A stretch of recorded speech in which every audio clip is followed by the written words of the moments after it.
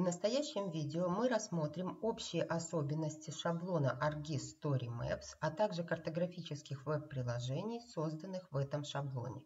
Мы будем говорить как о приложениях, которые создали вы сами, так и о других веб-приложениях, которые вы, например, получили по ссылке. Для начала мы рассмотрим картографическое веб-приложение «Памятники Бреста», которое со создавали не мы, которые мы получили по ссылке.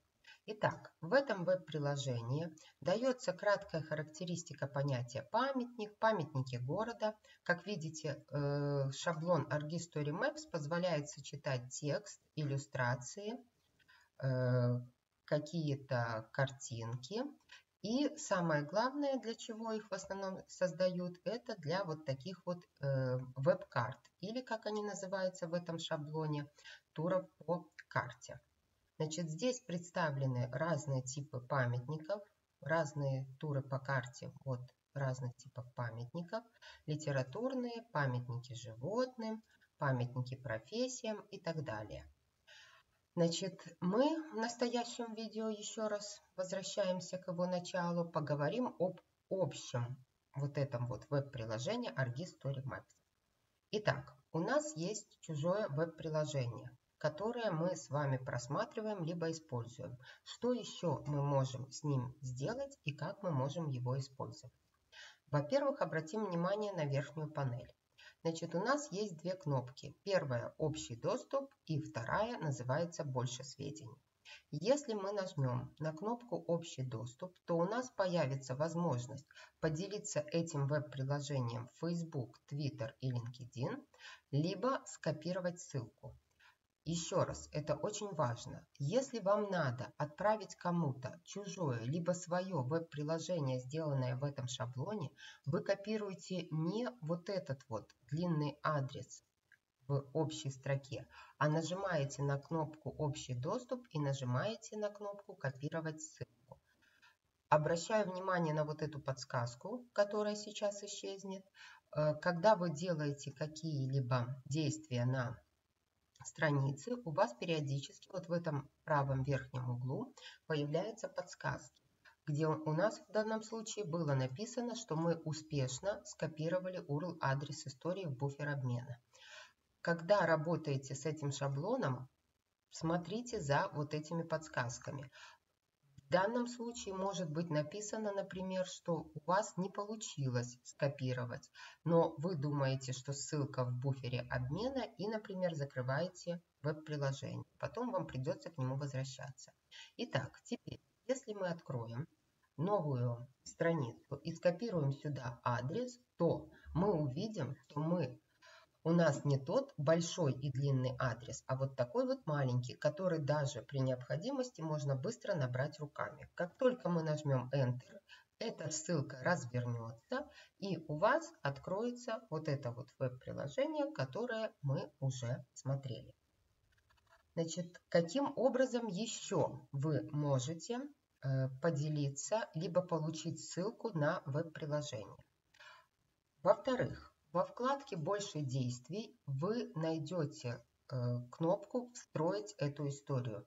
Нажав на нее, вы получите код для встраивания на сайт, либо на какие-то другие страницы этой истории. Здесь тоже достаточно нажать кнопку «Копировать», и у вас в буфере обмена появится вот этот вот э, код. Значит, еще, что очень э, хоро хорошее есть в данном шаблоне. Посмотрим, э, у нас есть вам, с вами в этом веб-приложении вкладки «Литературные памятники» и так далее. Например, вы хотите с кем-то поделиться только памятниками профессия. И обращаю ваше внимание, здесь сделана э, вот эта вот подпись с использованием одного из стилей, который называется курс. Э, либо у нас бы он назывался заголовок. Если правильно создатель веб-приложения использовал стили, то когда вы подводите к нему название, вы можете скопировать ссылку на эту секцию. Опять же у нас всплывает подсказка, что у нас все удалось. Мы заходим в другое окно, вставляем эту ссылку, и она, видите, гораздо длиннее, чем наша коротенькая ссылка. Нажимаем на Enter, и у нас открывается наше веб-приложение, но со страницы памятники профессиям. Точно так же, точно так же можно копировать э, ссылки не только на основной заголовок, но и на подзаголовок. В данном случае у нас литературные памятники поделены на просто литературные памятники и на гоголевские фонари на улице Бреста. Эти заголовки сделаны стилем подзаголовок, и он тоже имеет ссылку на секцию. Скопировав ее, проверяем, что все у нас удалось удачно, вставляем, и наше веб-приложение открывается вот с этой строки «Гоголевские фонари Бреста». Таким образом, очень удобно распространять эти ссылки, либо использовать их в каких-то своих текстах, работах и во многом другом. Например, можно делать э, учебные издания и таким образом делать оглавление. Значит, вернемся к нашему веб-приложению и посмотрим дальше на кнопку «Больше действий». Есть у нас здесь такое действие которая называется «Включить автовоспроизведение». Если вы нажмете на эту кнопку, то ваше веб-приложение начнет автоматически пролистываться без вашего участия. Давайте включим э, памятники валуны, нажмем на кнопку «Старт» и наше э, веб-приложение начнет пролистываться. Если для вас это очень медленно, вы можете увеличить скорость в два раза – либо вы можете уменьшить скорость в два раза. Также вы можете остановить пролистывание, либо начать его с самого начала. Обратите внимание, что э, чтобы вы здесь не нажимали, вот эта панель работает. То есть, чтобы выключить автовоспроизведение, вам надо вернуться в эту вкладку. Значит, и последнее, что надо посмотреть, и что очень хорошо для этого шаблона, это возможность печати. Причем вы можете напечатать не только на принтере, который подключен к вашему э, компьютеру либо ноутбуку. Вот посмотрите, как будет выглядеть это веб-приложение в печати. Э, одна общая карта и вот эти вот все изображения. Опять общая карта, причем она здесь интерактивная. И вот, это, вот эти наши все изображения и подписи к ним. Значит, итак, мы можем не только напечатать на принтере, например, подключенном, но и сохранить как PDF. То есть вы, создав свою Э, свое картографическое веб-приложение в облачной платформе, можете сохранить все, что вы там сделали, в PDF-документе. Итак, наш PDF-документ сформировался. Он занимает у нас 71 страницу, но мы можем выполнить некоторые настройки. Например, мы можем выбрать только некоторые страницы, которые мы хотим напечатать, если нам не нужно все веб-приложение. Мы можем поменять раскладку с альбомной на вертикальной. Значит, а также здесь есть дополнительные настройки. Например, вы можете выбрать размер бумаги от А5 до очень больших размеров. Вы можете выбрать 2, 4, 6, 9 и 16 страниц на листе. Вот. Вы можете выбрать поля, либо установить минимальные, либо вообще отказаться от полей, либо настроить свои поля, которые вам удобно. Вы можете выбрать масштаб, вписать свой, либо установить по умолчанию, а также построить верхние и нижние колонтитулы, либо включить либо выключить фон. Как вы видели, наше приложение с вами э, такое в бежевых тонах. И когда мы сделали предварительный, э, предварительную печать, оно у нас был белый лист. Если мы нажмем кнопку фон, то фон будет такой, как и у вашего веб-приложения, бежевый. Также у нас здесь есть колонтитулы, автоматически они у нас были включены, которые пишут э, название приложения, дату печати, ссылку на это веб-приложение, вот здесь оно, и э, количество страниц и страницу, на которой мы сейчас находимся. Если вы не хотите колонтитулы и не хотите фон, вы это все просто отключаете, но видите, программа перезагружает, у нас достаточно большое приложение, и впоследствии все, что вам необходимо, это сохранить ваше э, или чужое веб-приложение как PDF-файл. Нажимаете на кнопку «Сохранить», показываете, куда сохранять, и у вас будет копия этого веб-приложения. Значит, возвращаемся назад и рассматриваем последнюю кнопку, которая находится в верхнем левом углу. Это ArcGIS Story Maps. Значит, если мы нажмем на эту кнопку, то мы перейдем на стартовую страницу общих сведений о ArcGIS Story Maps. Значит, обращаю ваше внимание, что эта страница только на английском языке, поэтому если вы хотите прочитать ее на русском, вам надо просто гуглом перевести на русский. И Значит, с этой страницы либо вы можете больше узнать сами об этом шаблоне, посмотреть почитать, либо вы можете войти в свой аккаунт и начать работать со своими веб-приложениями. Итак, нажимаем «Войти в ArcGIS Story Maps», вводим свой пароль. Если вы хотите создавать историю, но у вас нет аккаунта, вам надо будет, нажав на кнопку «Войти», э, нажать на кнопку «Создать персональную учетную запись».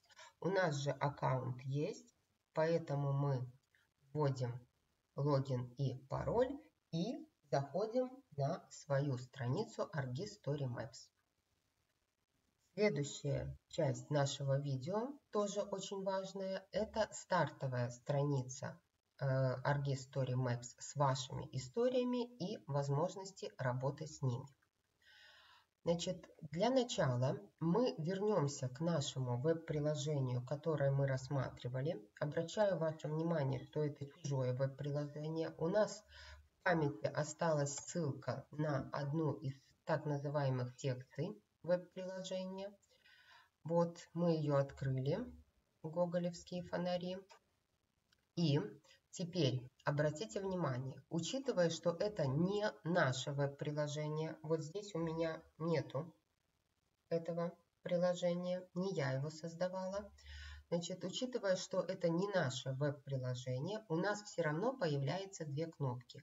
Во-первых, ссылка на ваш аккаунт, то есть как бы вы, находясь в чужом приложении, все равно находитесь в своем аккаунте, а также появилась кнопка «Добавить в избранное».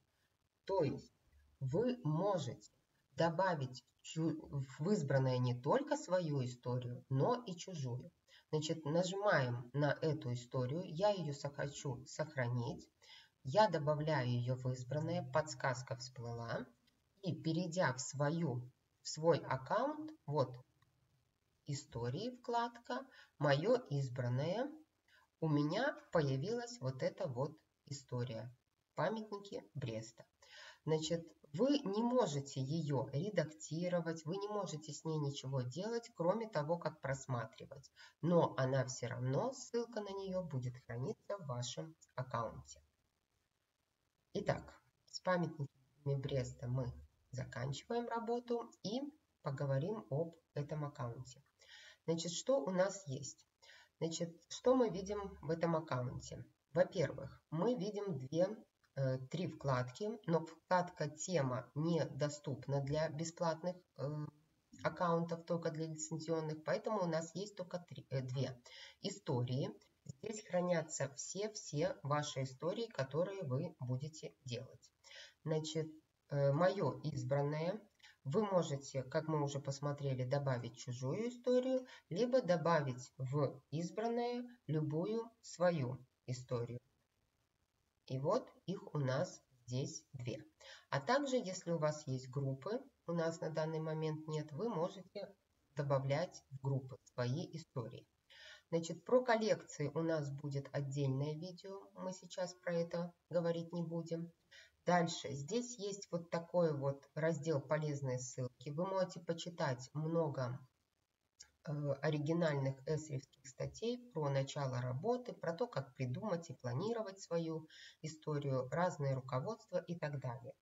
И здесь есть самая важная кнопка «Новая история» для того, чтобы начать создавать новую историю. Либо с нуля, по очереди добавляя любые элементы, либо начать сразу с бокового блока, либо какого-либо из туров по карте. Для, если вы хотите создавать истории, для этого у нас есть отдельные видео.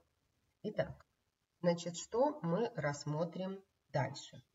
Значит, мы рассмотрим Э, возможность работы с историями и их основные особенности ваших картографических веб-приложений. Итак, значит, уже, вы уже ознакомились, что у нас есть кнопка «Избранная». Значит, также у нас есть кнопка «Быстрые действия». Что мы здесь можем сделать? Во-первых, мы можем историю удалить, но надо быть очень аккуратной с этой кнопкой, так как удаляется все без следа. Очень большое количество работы. Во-вторых, здесь есть кнопка просмотра подобных, подробных сведений. Значит, если вы перейдете на эту вкладку, то вы увидите, значит, как называется ваша история, когда вы ее создали, когда вы последний раз ее редактировали, сколько раз кто-либо, вы, либо кто-то другой э, смотрели вашу историю. Значит, вы здесь можете добавить ее описание э, или редактировать описание. Обратите внимание, что у вас очень много возможностей редактирования описания. Вы можете э, играть с шрифтами, оттенками, гиперссылки, рисунки, прикреплять и так далее. Значит, и можете, вот у нас э, здесь вставлено описание этого веб-приложения, а также ссылка на статью, где можно почитать про алгоритм, методику ее создания. Значит, вы можете э, вводить, здесь указано, в какой папке сохранено. Вы можете поменять папку, теги к вашей истории, сведения об авторах, URL-адрес, но Обращаю ваше внимание, это будет URL-адрес, видите, он более длинный. Это будет адрес не на саму историю, а на вот эту страницу с сведениями об истории, с которой можно нажать на кнопку и посмотреть эту историю. Очень многие Э, исследователи распространяют свои истории именно вот так. Не так, чтобы она открывалась сразу, как веб-приложение, а так, чтобы она открылась вот с этой титульной страницы, где можно будет прочитать, кто ее сделал, как, для чего, и уже потом нажать на кнопку «Посмотреть». Значит, также здесь есть э, сведения о размере истории. Мы видим, что она содержит много данных, в ней 87 мегабайт э, сведений. Значит, также здесь есть кнопка «Настройка», и в этой кнопке есть вот такая вот возможность защитить элемент от случайного удаления. То есть теперь, если вы захотите удалить эту историю, даже если вы сами захотите ее удалить, вам надо будет зайти сюда и снять вот эту галочку. Поэтому для очень важных историй и вообще для всех историй, э, карт историй, э, я бы советовала нажимать эту кнопку. Из вкладки э, вот этой вот обзор вы можете либо начать просматривать свою историю, либо начать ее редактировать. Значит, дальше. Следующая кнопка, которая у нас есть, это кнопка «Вид» и «Редактировать». Сейчас мы их посмотрим. Итак, если мы выберем кнопку «Вид», то наше веб-приложение открывается в том виде, в котором мы уже смотрели чужое веб-приложение «Памятники э, города Бреста». Но здесь все у нас так же, как мы видели, но если вы нажмете на кнопку «Больше действий», обратите внимание, как раз таки у вас всплывала подсказка, у вас появляется кнопка «Редактировать», «Изменять эту историю». У той истории у нас этой кнопки не было. Ее может не быть по двум причинам. Первая – это не ваша история, а вторая – вы не находитесь в данном случае в своем аккаунте. Даже если вы просматриваете свою историю, но не вошли в свой аккаунт, у вас не будет э, работать эта кнопка. Значит, и вторая кнопка, кнопка «Редактировать».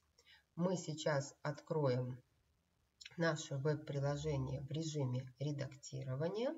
Значит, и у нас загружается совсем другая верхняя панель. Значит, сейчас мы можем менять, удалять, переставлять и так далее. Значит, это все мы рассматривали в других видео. видео. Здесь э, я хочу обратить внимание на несколько вещей. Во-первых, что сейчас э, появилась э, возможность э, отменять с, э, изменения, либо возвращать, повторять изменения. Значит, во-вторых, значит, здесь есть вот такие кнопки, как «Сохранено», Э, все истории ArcGIS э, Story Maps э, сохраняются автоматически, но вам надо просматривать вот за этой подсказкой. Как только мы что-то изменим, например, смотрите, мы тут удалим слово Бреста, у нас он сохраняет очень быстро. Если вы будете делать большие изменения, вот у нас появилось слово сохранение и сохранено. Значит, поэтому на это тоже надо обращать внимание. Иногда прерывается связь с интернетом, и вы что-то делаете, а это не сохраняется. Поэтому здесь тоже надо быть внимательным. Дальше у нас есть статус нашей истории, опубликовано, не опубликовано, и у нас есть кнопка «Опубликовать». Значит, это мы сейчас рассмотрим отдельно. Виды Э, опубликованности. Также, смотрите, если мы откроем вот эту кнопку, мы видим те же кнопки «Добавить в избранное», «Встроить», «Предварительный просмотр печати», «Настройки», «Общий доступ», «Дублировать» и «Просмотр опубликованной». Значит, кроме того, мы можем ее удалить, отменить публикацию, либо не сохранять неопубликованные изменения. Вот. Значит, так как мы здесь ничего не сделали, мы выберем эту опцию, чтобы у нас э, никаких не опубликованных изменений не сохранялось. Итак, вернемся назад. Э, так, пусть он у нас отменяет. Вернемся назад и посмотрим на типы публикаций. Смотрите, у нас есть истории с разными подсказками. Опубликованная, есть неопубликованные изменения и черновик. Итак, что это такое? Значит, черновик – это история, которая не была опубликована, и видеть ее можете только вы. Даже если вы получите на нее каким-то образом ссылку, например, скопируете общего вот этого окна доступа, то никто, кроме вас, под вашим паролем эту историю видеть не будет. То есть, пока вы не нажмете кнопку «Опубликовать», и у вас не появится вот такой вот зелененький вот э, прямоугольник, вашу веб-приложение никто видеть не может. Значит, если они у вас зелененькие и написано «Опубликовано», значит, эту историю могут видеть все. То есть вы можете смело отправлять на нее ссылку, и в таком виде, как видите ее вы, увидит ее любой человек, получивший эту ссылку. А также у нас есть фиолетовый квадратик, не опубликованные изменения. Что это значит? Эту историю могут видеть все, но она содержит изменения, которые видны только вам. Что это такое? Значит, давайте мы откроем эту историю в двух видах. В общем виде и в режиме редактирования. Итак, что мы видим в общем виде. Общая характеристика урбанонимов названий улиц Бреста. Значит, в общем виде мы можем, видим две вкладки Брест и урбанонимы. Во вкладке Брест у нас вставлен просто текст. Во вкладке урбаноним у нас вставлен боковой блок с текстом и пустым местом для карты, которую нам только надо сделать, а также подсказки, например, что здесь нам надо вставить фото, фотографию. Если же мы войдем в, в данную историю в режиме редактирования, где у нас написано, что мы что-то сделали, но не опубликовали, то мы увидим, что текст у нас разбит на блоки, что здесь у нас вставлена картинка празднования тысячелетия Бреста, а в нашем боковом блоке уже вставлена веб-карта с легендой, а также вставлена фотография одной из улиц Бреста в описании. То есть, с одной стороны, мы с вами сделали все, что нам надо было здесь доделать, но любой человек, которому вы отправите вашу ссылку на эту историю, ее не увидит, потому что то, что вы исправили, вы не опубликовали. Таким образом, главный вывод, что бы вы ни изменили в вашей истории, то есть, например, вы просто взяли определение, выделили жирным и поменяли стиль на квота, это уже изменение. Пока вы не нажмете на кнопку «Опубликовать», вы будете видеть это все не опубликованным. Нажав на кнопку «Опубликовать», у вас сразу спрашивают, будете ли вы редактировать карточку, то, что видят, на, когда вы вставляете вашу историю, например, в веб-приложение, в социальные сети, а также доступ для всех, либо только для вас. У нас общий доступ. Мы нажимаем на кнопку «Опубликовать». Наша история публикуется. В данном случае у нас всплыло замечание, что наша карта не находится в общем доступе, и мы говорим «да», и карту нам тоже надо опубликовать. И теперь публикация истории закончится. Обращаю ваше внимание, что нежелательно уходить с этой страницы, иначе оно может так и зависнуть на стадии публикации. Значит, и теперь, значит, смотрите, мы обновим нашу страницу. У нас вот наши урбанонимы Бреста уже опубликованы. И если мы выберем вид, то у нас откроется так, как мы исправили. С картой, с цитатой и со всем, что мы внесли. Поэтому Обращайте внимание на то, когда вы закончили работу над веб-приложением, сделали вы свою работу до конца, опубликовали вы ее или нет. И в то же время не пугайтесь, если вдруг, зайдя по ссылке, вы не увидели своих изменений. Вполне возможно, вы просто не опубликовали их. И последнее, что мы хотели бы показать в этом видео, это возможность дублирования истории. Это очень-очень хорошая Эм, функция. Итак, э, у нас есть с вами веб-приложение «Город как пространство памяти», где рассказывается об улицах Бреста с историческими названиями. Например, я хочу э, сделать отдельную историю, где я покажу только один, од, э, сделаю не все исторические события в названиях улиц, а только события Великой Отечественной войны. Для этого мне не надо переделывать все заново, мне надо нажать на дублирование истории и нажать «Да, дублировать». Но перед тем, как мы на это нажмем, я хочу обратить ваше внимание, чтобы вы внимательно прочитали то, что здесь написано. При дублировании создается копия истории в вашей учетной записи. Копия является личным черновиком, пока вы его, где хранится все, в том числе и неопубликованные изменения на момент создания дубля. Все, что вы создали в вашей карте, хранится, переносится в новый черновик, но хранится в старом. То есть Новая история ссылается на исходные элементы, например, на туры по карте и на экспресс-карты.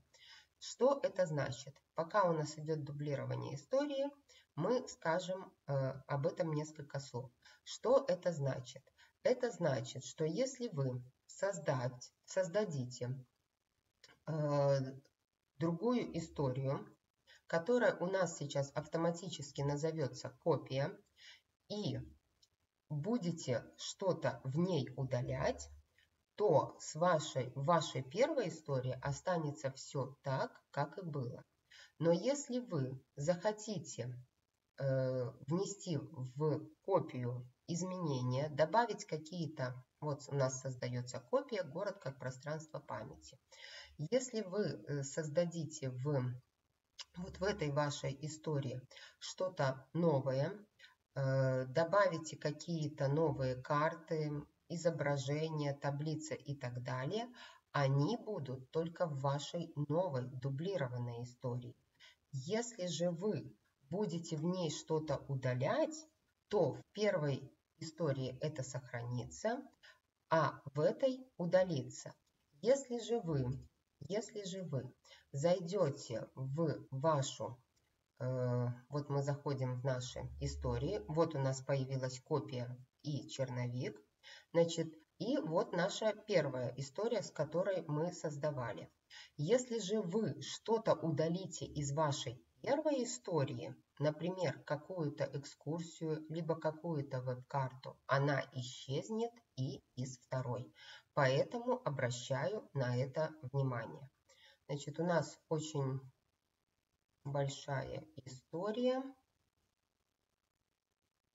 И наше дублирование не создается.